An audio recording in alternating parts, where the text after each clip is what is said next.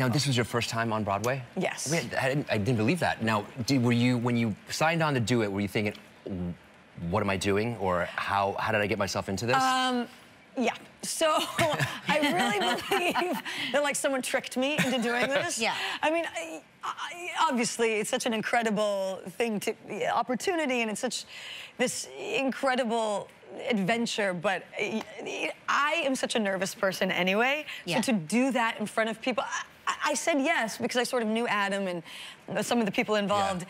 And then when we actually had to do it, I was like, what? No, no, no, I don't actually want to do it. And then, yeah. then we rehearsed it, and then I was like, oh, now we have to do it in front of people?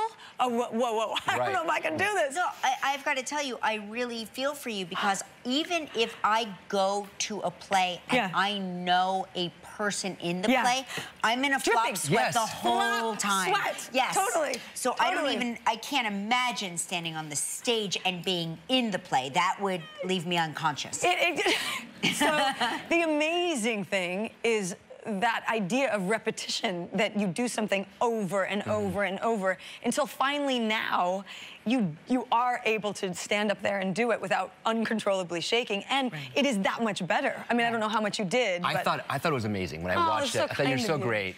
The one thing, the one thing that I did notice, yeah.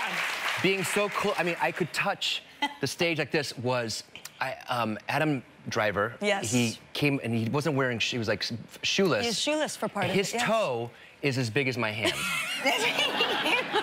he's, he's a, I was looking at him like, he can't oh unsee my his toes. Gosh. He's a large person. He's a, he's a, he's yeah. he's majestic. He's he's a large person, and I am not. So, no, you are yeah.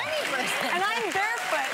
I don't think I wear shoes in the show. The one time I have shoes on the very end. Yeah. But so I. Am... You moved around very much like a dancer. That's what I told Kelly. He said. He you said. Moved... He goes. Was Keri Russell a ballet dancer at a certain point? And I said, I'm not sure. Why do you ask? He goes, because she's so graceful and she did such graceful things with well, her. Thank with you her very much. Uh, yes. I was a dancer. See that? I was a dancer. Yeah.